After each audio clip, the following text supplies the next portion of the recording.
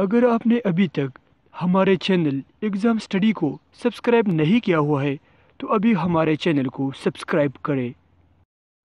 और बिल के आइकॉन पर क्लिक करके आप हमारे चैनल की तमाम वीडियो अपडेट्स हासिल कर सकते हैं।